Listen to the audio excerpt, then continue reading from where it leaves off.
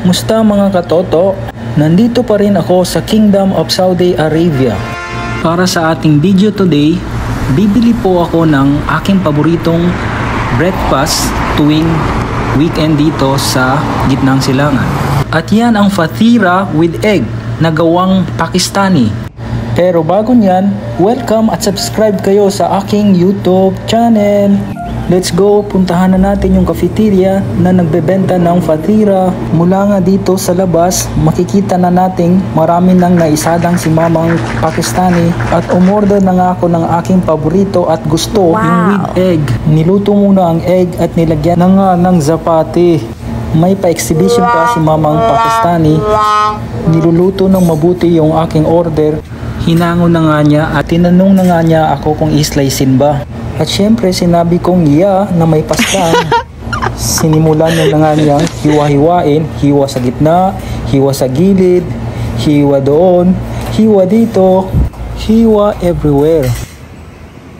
Nilagyan niya na nga ng toppings na ketchup,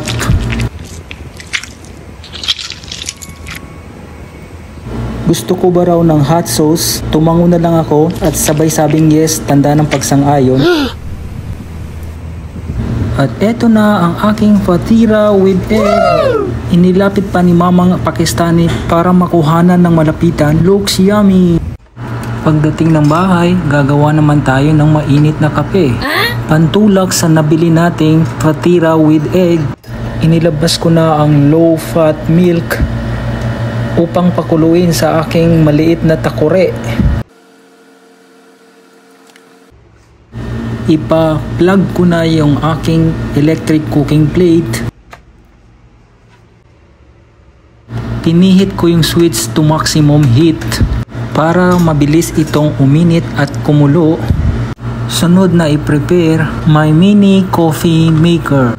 Ilagay na ang accessories tulad ng filter, i-plug na sa saksakan.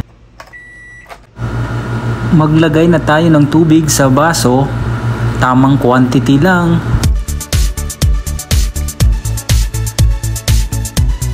Sa water area ng coffee maker, ibuhos ng dahan-dahan ng tubig para hindi masayang. Huwag tularan yung ginawa ko. Ilabas na ang kaping barako ng Batangas na nakalagay sa peanut butter bottle. Maglagay sa filter area ng ilang scoop ng naayon sa inyong preference. Dagdagan kung kinakailangan kung gusto nyo ba ng medyo mapait or mapait na mapait. Nasa inyong kagustuhan base sa inyong panlasa. Itapat yung baso sa maliit na butas na kung saan lalabas paunti-unti yung tubig na mula sa sinalang kapeng barako. Switch on at hintayin nating matapos ang proseso.